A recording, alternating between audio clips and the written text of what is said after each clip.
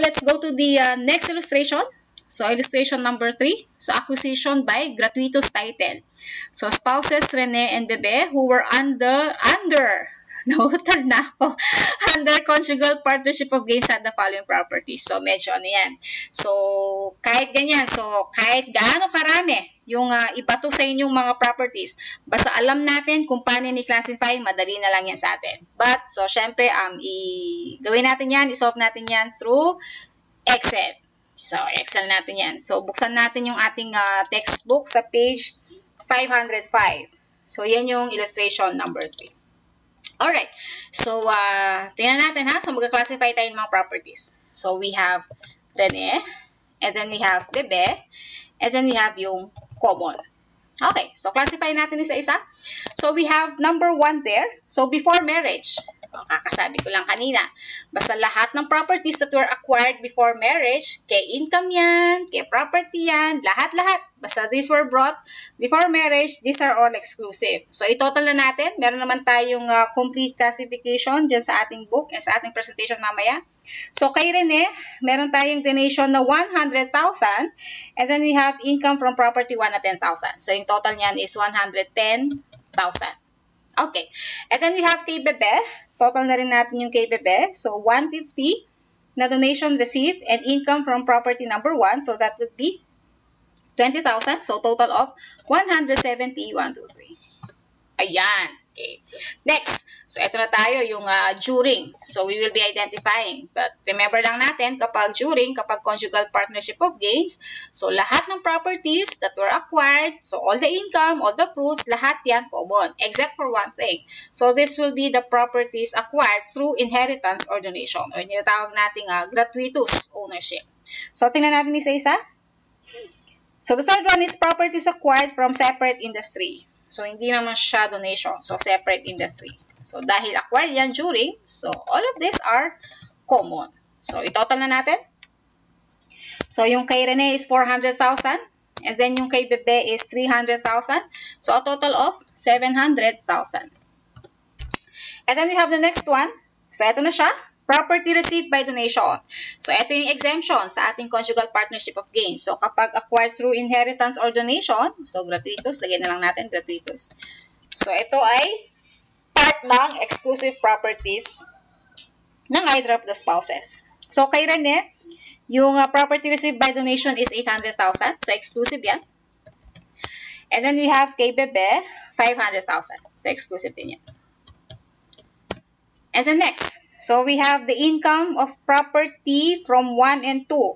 So gaya nga ng sabi natin, basta income, and it was acquired uh, during and regardless of its source. So fruits and income or gains, regardless of the source, basta it was uh, earned during the marriage, therefore this will be common. So lahat yan. So tingnan natin, so income from property 1 and 2. Okay. So, 1 and 2, total na natin siya. So, 15 plus 25. So, this will be a total of 40,000. And then next, we have income from property number 3. So, lahat yan, regardless of the source. So, ang uh, ating ano dyan, total na natin siya. So, that would be 40,000 plus 30,000. So, that would be 70,000. And then we have the next one. So, income from property number 4. So, income from property, number 4. So, total na rin natin kasi ano yan, um, what do you call that? Income. So, common din yan. So, we have 80,000 for Rene and 50,000 for Bebe. So, yung total natin is 130,000. So, ayan, i-total na natin. So, total natin siya. So, isam natin. Sum. Ayan. So, 910 kay Rene. Magkano kay Bebe? 670,000. Magkano yung ating common? 940,000. Ayan. So, kapag tinanong tayo, magkano yung um, exclusive ni Rene? 910. So, kapag tinanong tayo, magkano yung exclusive ni Bebe? 670. So, kapag tinanong tayo, magkano yung uh, common properties ng husband and wife? So, that would be 940. So, in that case, kapag tinanong ng problem, magkano yung gross estate ni Rene? So, alam na natin. So, that would be uh, 910,000. So, that would be the separate properties of Rene plus the common properties of 940,000. So, that would be uh, 1,850. 1,850,000. So, kapag si, uh, ano naman yung uh, dissident si Bebe, so i-add lang natin yung separate properties ni Bebe na 670,000 and yung common properties uh, na 940,000. So, the gross estate, if Bebe will be the dissident, so that would be a total of 1,610,000. So, madali lang naman. Basta lagi nating tatandaan, lahat ng properties before, these are exclusive, and lahat ng properties during, these are all common, except for gratuitous acquisition of property. So, those acquired through inheritance or donation. Now, let's have the, uh, ito, ito yung ating uh, detailed, ano, detailed presentation. So, kahit ilang bato pa ng uh, items ang ibibigay ng problem, basta alam natin yung classification, so hindi tayo mahihirapan sa pag-solve ng problem. So next, we will be uh, having the uh, illustration number 4. So integrative illustration number 4. So at asan siya? Ayan. So yung kay uh, Mr. Crocs. So ayan yung ating ano, yung ating uh, problem and the solution. So isolve natin siya through Excel. So let's open our books to uh, page 506. So isolve natin siya through Excel. So buray na natin 'to. Okay? So, yung uh, ating spouses naman ngayon, that would be uh, Mr. Crocs. Mr. Capital natin.